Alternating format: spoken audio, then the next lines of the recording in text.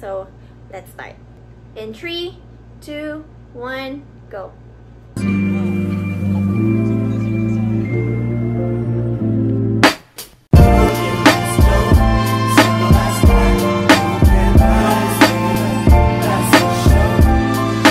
Okay, so let's start from the very, very beginning. I was born this way. I have always been super, super thin all my life. Around high school, I was about 30 to 35 kilos and I'm 5'1", so that's underweight, sobra. And I knew because people told me, as in, everyday people would tell me, Nagda-diet ka ba? Bakit ganyan yung weight mo? Magpataba ka naman. And it's so frustrating when people tell you, Uy, kumain ka naman. Kasi I think that when people see a very thin person, they automatically assume that it's their choice. It's so frustrating. Kasi kahit gusto mong baguhin, hindi mo alam paano. At kahit alam mo kung paano, hindi mo alam kung paano gawin yon.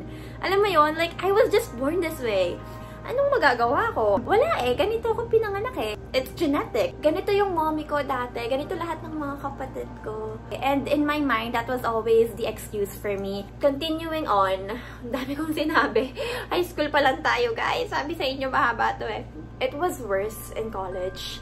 Because in high school, people had undeveloped bodies. During college, their body started to develop, nagiging mas mukha na silang kolehiyala, ikaw grade school pa din, ganun. so, it got worse in college, as in, I have heard so many things na mas masama. Like, uy, liliparin ka na, onting tulak ko lang. And then, every time umuulan, people would tell me, uy, kapit ka! uy, kalansay ka na. And then, pwede na ako mag-strum ng guitar sa'yo. Which is, nakakatawa siya. I mean, hindi naman siya offensive sa akin dati. Pero I have just heard those stuff a lot na naka-engrave na siya sa utak ko. Basta, people can get really creative. And, it was just like a little joke between me and my friends. And, it was just something that we laughed at. Parang yun lang yung pangpikon nila sa akin. Pero nung time na people who didn't know me started to judge me for my weight, feeling ko dun na nag-start yung problem ko with my self-esteem. Some people knew me on the internet who didn't really know me. And they started to say stuff about me like, Uy, ang ganda mo sana, pero ang payat mo. Uy, tapon katawan. Stuff like that. Basta, um, it's funny. I, I mean, I don't really care about what they think.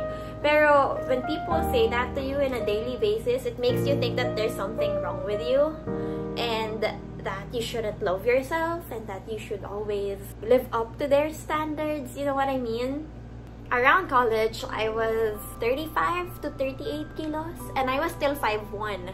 So that was still severely underweight, right? Naiintindihan ko kung bakit nila sinasabi sa akin yun. Kasi, ang lala naman talaga doon. Pero I know people who are experiencing the same way. I don't want to be a hypocrite and say na don't care about what they say, just do you. Alam mo yun? Kasi mahirap gawin yun eh. Kasi I knew. Anyway, come med school. Sorry ang haba ng kwento ko. Hindi ko alam kung nakikinig pa rin kayo.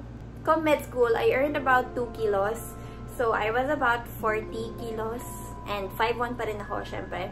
And I don't know if it's because it's the 21st century or if it's because it's my age or if it's because of the social media trends ngayon. Pero everything became hyper-focused on the body.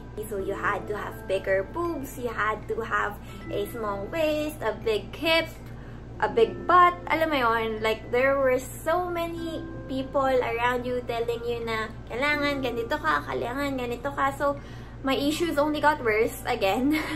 and I know that it's not very obvious, pero I am a very insecure person and I would always compare myself to the girls on the internet. I know I'm a girl on the internet, pero I would constantly compare myself to them and say, why can't I be like that? Why can't I be sexier? Why can't I look like a 23-year-old girl?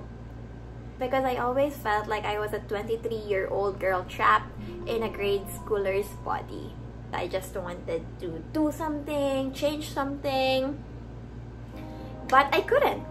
I was in med school, I was super stressed, I was eating a lot of junk, I wasn't getting enough sleep, and I neglected my health, I didn't work out, so it just became a cycle. But then, the pandemic came. Eto na guys! Eto na! Dito na tayo sa tips! Dito na tayo sa tips. Came pandemic, I think that's when I started to do a lot of lifestyle changes. In a span of a year, I gained 5 kilos. So, that has been my biggest achievement so far. Now, my BMI is about 18.9 or something. Depende kasi kapag ginagamit kong 5'2 or 5'1 yung height ko kasi in denial pa rin akong 5'1 lang ako. Minsan iniisip ko 5'2 ako. Minsan 5'3 pa nga eh. Pero ayun, basta yung point, normal na yung BMI ko. And people started to notice it after I started working out. Doon ko na-realize, uy, may improvement nga, no? I think this was the only time that I really noticed it for myself and that is why I finally have the courage to do this video. So my first tip for you would be to get into the right mindset. Sabi ko nga sa inyo, when I started on this weight gain journey, it wasn't for the aesthetics of it. I was doing it primarily for my health and it became such a routine to me already that I was just doing it because it was fun. What is the biggest advice you can give? You're gonna have massive changes during the start, but then when you get into a routine and when you start doing it more often, you're gonna plateau at some point and that's when people stop. But that's when you should keep going. What motivated you to keep going? All these years, my weight gain journey was about them. I wanted to be better for society. I wanted to be sexy. I wanted to be more beautiful. Alam mo yun? But when I finally had this light bulb moment na sinasabi ko sa sarili ko na, it's pandemic. Nobody's gonna see me. Nobody would care what I look like. Pero I still wanna do it. Because I wanted to do it for myself. If you're gonna be doing it for the other people, um, that's gonna be a temporary thing. But if you're gonna be doing it for yourself, that change will last a lifetime. Second, and I know this is gonna be hard to hear because you've been hearing it all your life, pero totoo, kailangan mong mas kumain. sorry, sorry sinasabi ko sa'yo, pero kailangan mo kumain. I don't really wanna get into the technicalities of it kasi hindi ko rin naman to ginagawa masyado. But if you're really, really determined to gain some weight, you should monitor your calorie intake. Ako kasi, I don't wanna push myself to eat when I don't wanna eat. I don't wanna keep tracking my calories kasi that's gonna take the fun out of eating. Gusto ko masaya lang akong kumakain, nanonood ng Netflix. Ayoko yung search ko, how much calories is there in one egg? Ganon ganon. Um, I didn't bother really with that, pero if you're really determined, first, you should consult a nutritionist. Sila talaga yung maraming alam about that. And maraming gumagawa ng mga plans online. Pero just to tell you the basics of it, there is this thing called total energy requirement. And that calorie intake, it's different for everybody depending on your weight, your height, um, how much physical activity you do, all that stuff. But that's the calorie needed to maintain your weight. So if you want to gain some weight, you have to go over and beyond that total energy requirement and have calorie surplus. So basically, you really have to eat more. What did you change with your diet? I started to eat more home-cooked meals. First, dahil wala akong choice, pandemic. And second, mas mura siya. Dati kasi I was eating fast food every day. Kasi yun lang yung mabilis for school and yun lang yung mura when you're just a student. So, I don't think it really helped me. I know they say that fast food makes you fat, pero I ate fast food every day. It didn't work for me. So, I actually don't know. I think it depends on the person. Pero, whatever. Sabi ko nga sa inyo, this isn't gonna be scientific based. It's just gonna be me ranting. How many times do you eat in a day? Alam kong merong mga tao na hindi talaga nabubusog, na payat. Ako kasi, hindi ako yung ganong tipong tao. Merong mga tao na payat na hindi talaga nabubusog entirely. As in, ang dami kong nakikilalang mga taong ganon. Pero ako kasi, mabilis ako mabusog, pero mabilis din ako magutom. So I adjusted to that. I ate smaller but frequent meals. I think in a day, I would get about mga five na snacks, just little snacks, just to get me through the day. And I think it helped a lot. And I also got on this program. It's from Keto Pesca. Um, it's a pescatarian diet. And it's not really for weight gain. More on diet siya, I think. Pero it was my only access to healthier food dito kasi sa Manila, we don't really go to the market a lot. And yung mga nakapack lang na food sa amin dito is yung mga for month long na, lalo na ngayong pandemic. So, mga frozen meat, ganun. So, wala akong daily source of vegetables and fish. So, um, I got on the keto pesca diet for that one. Pero it can be quite expensive. So, I don't really suggest that if you're on a budget. Pero that was a total of 3 meals and a dessert. Good for a whole day supposedly. Pero what I would do is I would eat that during the day. And then for my midnight snack and my dinner, I would eat something na home cooked dito sa bahay. My third piece of advice for you would be to work out. Feeling ko talaga ito yung nagpabago ng structure ng katawan ko kasi ito yung sobrang nagbago sa sistema ko when the pandemic happened, I started to work out intensively. Well, I don't know if it's intense for you, pero like coming from somebody who didn't work out ng kahit ano before, I started to work out 4 to 5 times a week, 45 minutes each day, and that would be a full body workout. Kunwari, for my first day, I would do my arms. Second day, I would do my butt. Third day, I would do my core. In total, I think I have done about mga 11 months of workout, 10 months of workout.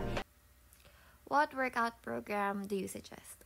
For workouts, I suggest Pamela Reef kasi siya talaga yung nagpabago ng structure ng katawan ko and She was really helpful to me, lalo na nung wala pa ako masyadong alam about workouts. She would provide weekly programs na full body and everything you need to know, sasabihin na niya doon.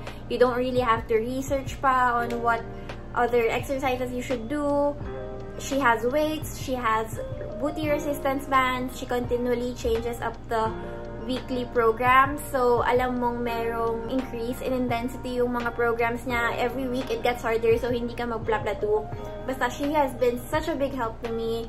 Pero if not, you can also research your own. There are plenty of information online right now. If you don't like Pamela Reef, merong mga ibang YouTubers dyan na they also provide weekly programs. Basta, I just wanna remind you, ito kasi yung ginagawa ko dati. Nung bata ako, in my younger years, all I would do is butt workout. Kasi feeling ko, uy, kapag lumaki yung butt ko, baka magmukha na akong may shape. Kasi para payat yung dito, tapos biglang ganon. Ganon yung... ganon lang yung gusto ko noon. Pero, I just wanna say na that's wrong. You should do a full body workout. Ngayon lang ako nag-workout ng upper body all my life and it has helped me a lot. Like, feeling ko talaga ito yung nagiging basis ng mga tao sa pagsabi na tumataba na ako. So, you should do full body workouts. Wag lang core, wag lang butt. Okay, don't be selective. Do it all.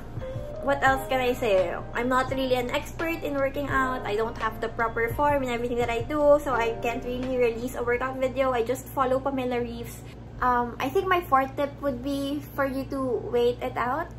Kasi there is really evidence that says that metabolism slows down as you age. And a lot of people na payat nung bata sila, tas tumaba na ngayon, they would tell me, magsisisi ka na kasi gusto mong tumaba. Dati ganyan din ako, mas payat pa nga ako sa'yo. Yun yung mga sinasabi nila sa akin when I would ask advice from them kasi I wanted to research and get their opinion also. And in a way, that is true kasi metabolism really does slow down as you age. So if you wanna gain weight, I guess just wait it out.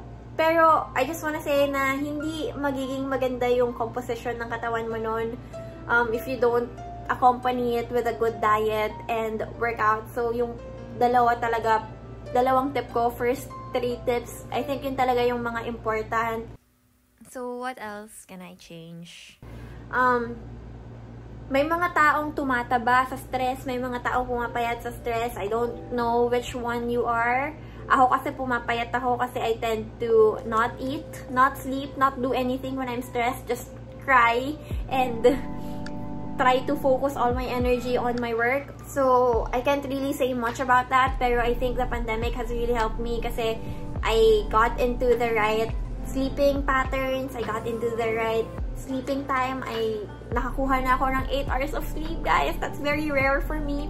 And, um, nabawasan yung stress ko, syempre, pero nakaka-stress pa rin yung gobyerno. Sabi ko nga sa inyo, this is not gonna be a very intensive tutorial kasi hindi ko rin talaga alam kung anong nagpataba sa akin. I just realized na one day, uy, okay na tong katawan ko. I don't feel so insecure anymore. So, if you have any more tips that you want to share with other people, because I want this to be a community for our little bones, you can share them in the comment section below. You can share your stories. I will be reading them one by one. I just really want to let you know that really want to let you know that you're not alone in this battle and you're gonna get through this and you're beautiful whether you have small bones or a toned body or a slightly bigger body you're beautiful as long as you think you're beautiful you're beautiful as long as you're healthy you're beautiful as long as you feel good about yourself so focus on that don't focus on gaining weight for them focus on you do it for you and everything else will follow i think that's just about it to love yourself, you have to focus on the things that you hate about yourself. Come into terms with that. Don't ignore it. Face it head on. Do something about it. Yun naman talaga yung biggest enemy natin dito eh. Hindi yung pagtaba or yung pagpayat but really ourselves and our self-esteem. For some people, this may not mean much. I know I still don't have the perfect body. I know I'm still, I can do so much better. Pero this has been a lifelong journey for me. I gained my first 5 kilos during my 9 years of being insecure and I gained another 5 kilos in just one year when I started to do it for the right reason. It may not mean much to a lot of people pero every kilo was hard work for me. As in every pound that was added to my weight, I was so happy and I was I just wanted to maintain it. Some people wouldn't understand. Some people would even dream to be in our position. Yung tipong, sana kain lang ako ng kain pero di ako tumataba. And that would make me feel bad about myself. That would make me feel like my problems are small and that they're irrelevant and that I shouldn't feel this way.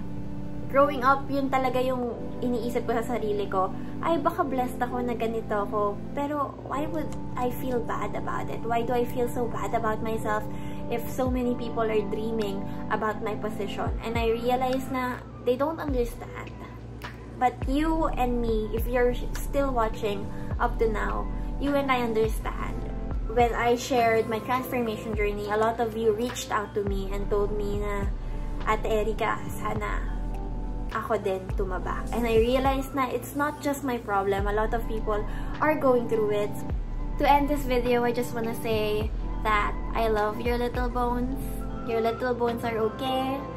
Your body does so much work for you. Don't put any pressure on yourself. Pero you should still be able to love your body enough to do something about it. And it doesn't have to be a massive change. It doesn't matter if nothing changes. Basta make some changes to your lifestyle like eating and working out. Um, I still have a lot of work to do, I am aware. And so it's gonna be a journey that we're gonna be taking together. So if you're still watching up to now, thank you so much. I hope you guys enjoyed this video and you guys like this video, then please press like. You can subscribe to my channel. You can follow my Instagram account at Erika Ravara. I am much more active on Instagram. Um, yeah, basically that's it. Thank you guys for watching my video and thank you for bearing with my dog. Sleepy na siya ngayon after playing with me so much. So, finally, tumahimik na siya. So, good night, everybody! Say good night. Or good morning. Or good afternoon. Whatever time you're watching this. Bye!